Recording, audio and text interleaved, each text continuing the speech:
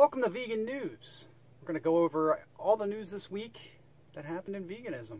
Christine Loghead saved a lobster that she found at a grocery store sitting all by itself in a tank. They ended up purchasing the lobster for $20 and they took, and they took it back to their home in Red Lake, Ontario, Canada, where they set up a tank for him with salt water and got him a new home and got him comfortable. But that's not where the story ends. They didn't want him to live in captivity.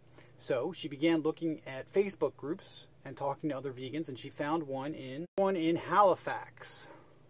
From there, they took Lobby Joe, as they dubbed him, to the local their their nearest UPS uh, shipping facility, which was six hours away. So they took the six-hour drive. They paid two hundred twenty-five dollars to ship Lobby Joe, and sent him out to a woman in Halifax. Beth Kent then returned him to the ocean, the Atlantic Ocean, and found a nice spot away from fishing boats, nice and rocky, and watched him crawl out and, and go out into the. Uh, watch him go back out into nature, into his natural habitat.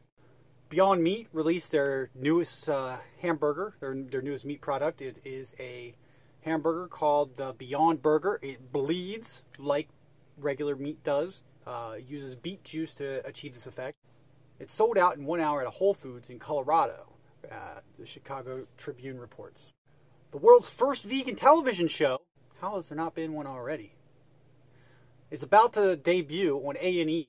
It's going to debut on A&E's FYI network channel this summer, apparently. Uh, it'll be out in July. It's going to be called Plant Based by Nafsika. I don't know if I'm pronouncing their name correctly or not.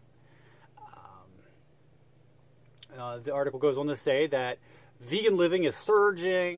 Vegan friendly bakeries have been featured on many national television shows and reports finding the vegan population tripling to 360 tripling 360% in the last decade. So I guess with the the new numbers, they want to get in on our demographic.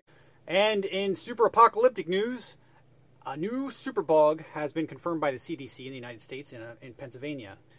Um, it's resistant to all forms of treatment. It's an E. coli resistant to all forms of treatment, and it is a result 100% of our introducing mass antibiotics into the factory farming system, factory farming in itself, and our close proximity to them. Um, but none of that's being brought up in in the news whatsoever. It, they're just pretty much reporting it and scaring people with it. So that's it for news this week. Every Friday we'll have news on this channel. And if you're not vegan already and you'd like to go vegan, I'll put some links down below to help you get started.